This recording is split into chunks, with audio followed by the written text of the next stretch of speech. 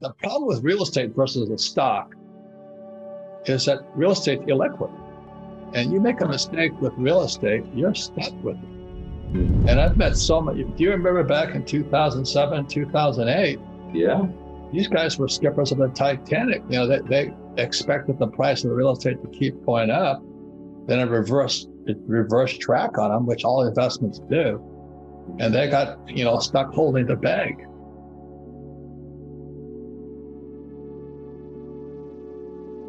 Well, these are unusual times. And uh, I'd be, and all that means is be more cautious. You've got to be smarter because, as you know, the problem with real estate is illiquid. So you make a mistake with real estate, you're the skipper of the Titanic going down with it. Well, but the question though is have we hit our maximums? Is there room for more appreciation in real estate? And if there isn't, what is your forecast going forward? Will the Fed wreck the markets by raising rates in 12 months or, or 24 months? Well, I don't really care because um, real, real estate is not about price going up, it's about cash flow, it's about income, income generation. That's all I care about. The second thing about real estate is I use debt financing and interest rates are at 2%. I mean, that's what that's one of the reasons real estate's going up. And I pay no taxes. And uh, if you don't pay any taxes, that's more income. Yeah, nobody likes to get that kind of phone call, right? That's not a very good phone call, but you got to have people on deck like your partner does in a property management scenario. So, the barrier to ending rental to owning rental properties though is the price because the cost to benefits got to be there. You want to have positive cash flow. You don't want to be dumping money into a property and have a negative cash flow. And so at this type of in, in this type of market environment, prices are really too high to get into rental properties, aren't they, Robert? Not for me. No, I just bought I just bought 60 units in Austin, Texas. The difference is I call it this is not the scientific term, it's called a twist. What can you as an entrepreneur, what can you do to that property that'll increase its value and the rental income? For example, one of my very first properties was a two bedroom, one bath house in Portland, Oregon. All we did was add a second, uh, another bedroom and another bath to it, and it almost tripled the rent. See, but I look at it as an entrepreneur. I'm not, I'm not a gambler. I, I don't just buy and flip. And I still have that property today. So, Robert, when we look at the real estate market today, we know we've come up from the bottom of 2008 and those lows, and but what also has caused these prices to increase is rental properties. Rents are going to the moon. Why are rents going up?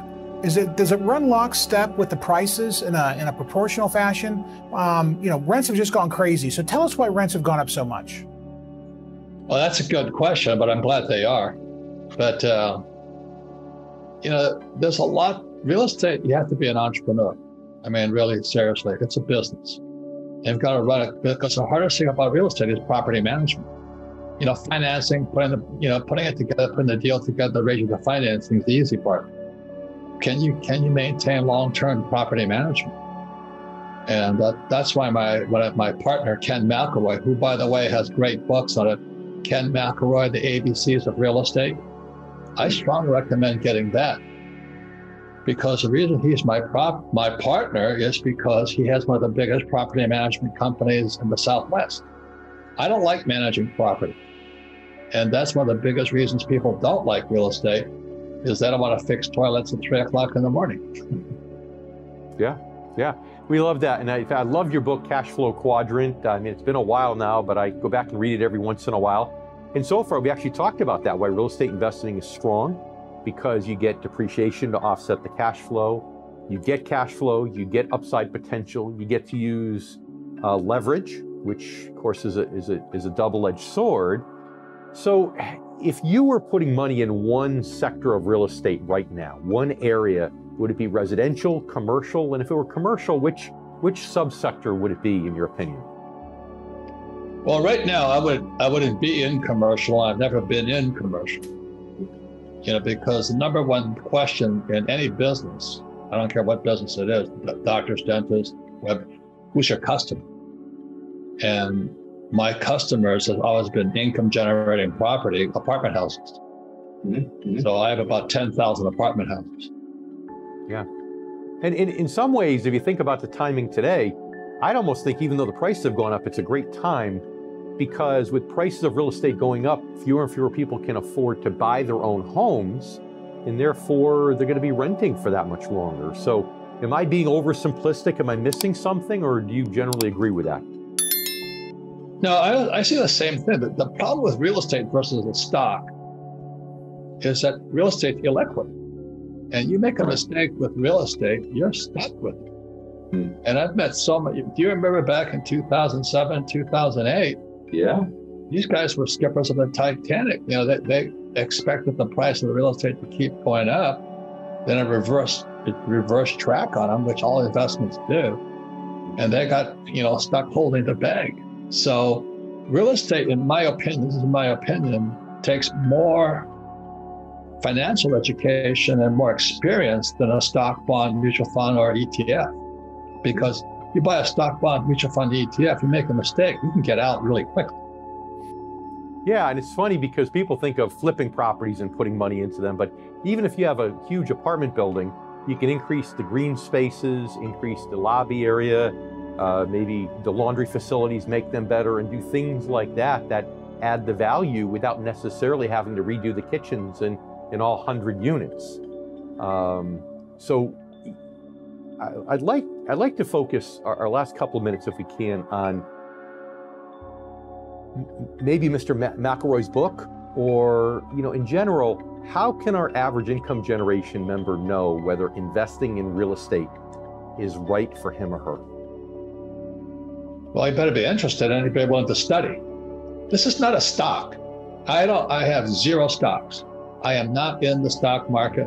I think that is the biggest bubble I've ever seen on NASDAQ. I mean, the Dow hit all time highs today. And the problem with amateur investors is the problem isn't the stock market. The, the underlying problem with the stock market is the credit market. The credit market's coming apart.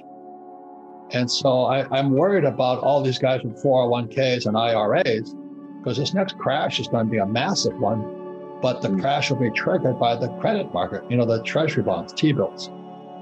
And so that's why real, real estate will always do well as long as there's jobs in the area. So, test number one is what's the industry closest to my real estate? So, for example, I own huge uh, apartment houses in San Antonio, Texas, but they're right next to hospitals. Mm-hmm. Hospitals for the next at least three years will be in business you know, and that and and most hospital have lots of employees, and that's what makes it a good investment. Plus, I added I added washing machines to them and dryers, so I increased the rent. Then I added mm-hmm. carports to it. It increased the rent. Then I increased security yep. and I increased the rent. So I'm an entrepreneur. I'm not a gambler.